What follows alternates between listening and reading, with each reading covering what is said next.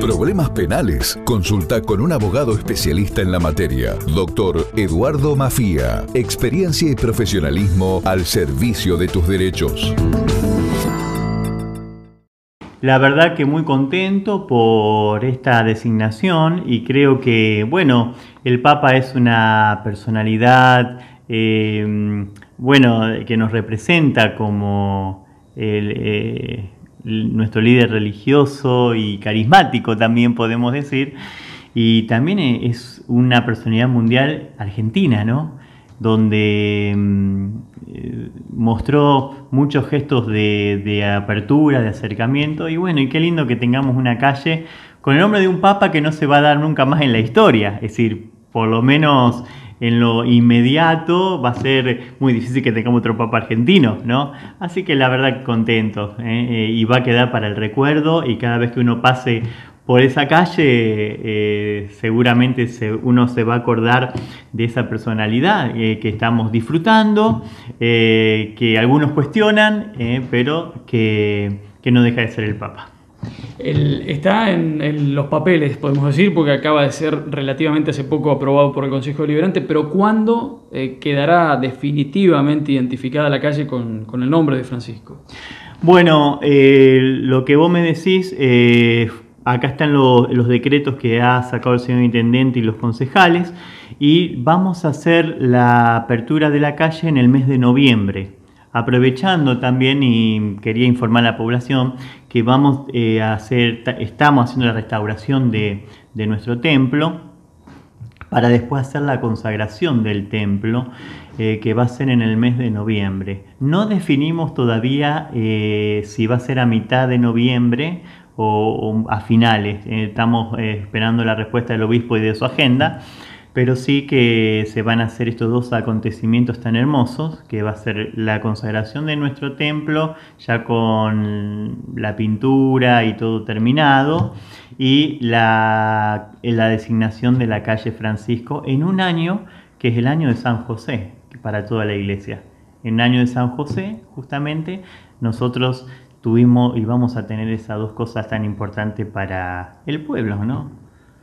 Para, la gente de la zona que nos esté viendo, San José es el patrono de General Pinto. Exactamente, San José es el patrono y en diciembre del año pasado el Papa declara un año donde mm, rescatar la figura de San José como el custodio de la vida, el custodio de, la niñez. Eh, y bueno, revalorizar la figura de San José durante todo este año y justamente nos viene eh, muy bien esta, esto que este año jubilar, bueno, para eh, eh, cerrarlo con estas dos cosas tan importantes que son para nosotros, ¿no?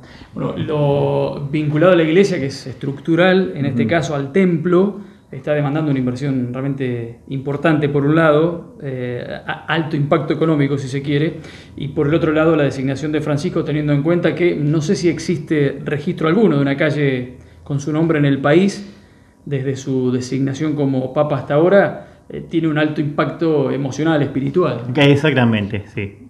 Es una de las primeras calles que vamos a tener con el nombre acá en General Pinto, del Papa Francisco. Eh, respecto al, desembarco económico de la parroquia también, eh, un desafío importante en estos sí, en estos tiempos un desafío donde, bueno, eh, lo digo públicamente también un agradecimiento al municipio de General Pinto por, por, bueno, por la ayuda prestada, tanto en lo humano, porque acá hay tiempo humano invertido, y en lo económico, ¿no? Eh, para embellecer el templo, porque el templo, más allá de, que, de la religión, de que, cada uno es la casa de todos, ¿no? Porque todo el mundo, tenga fe o no, pasa por la parroquia, ¿no? Pasa por el templo. La gente viene a traer a bautizar a sus hijos, se le da la comunión, alguna eh, que otra persona va al banco y pasa a rezar un ratito, ¿no? Está todo tan vinculado y también es una, eh, eh, es una estructura de la sociedad, es decir, un edificio de la sociedad que, tiene que estar lindo, eh, y creo que bueno, se está haciendo y se está logrando. Y estamos muy contentos por eso también, ¿no? Mientras esto sucede, se ha improvisado en la parte posterior de, lo que es el, predio parroquial, la, iglesia. Sí, exactamente. Eh, acá hay un salón parroquial que también lo ha hecho Rufino, el padre Rufino, cuando mm, estuvo de párroco, después él fallece. Y bueno, eh, cuando yo tomé la parroquia lo hemos revocado y mm, le faltaba el fino y la pintura. Bueno, se hicieron esas dos obras eh, y el salón tuvo un uso muy importante, porque todos decían, ¿para qué semejante salón? ¿No? El padre, ¿para qué hace tanta tan, obra tan grande? ¿no? Porque fue una, obra muy, muy grande. Y bueno, y ahora se están viendo los frutos, ¿no? Eh, cuando tenemos, cuando no estaba la pandemia, la misa de sanación, que la gente se quedaba a comer o a compartir, eh, y más los que venían también de afuera. Y eh, ahora tenemos la improvisación con la... Es decir, nos está sirviendo de templo parroquial.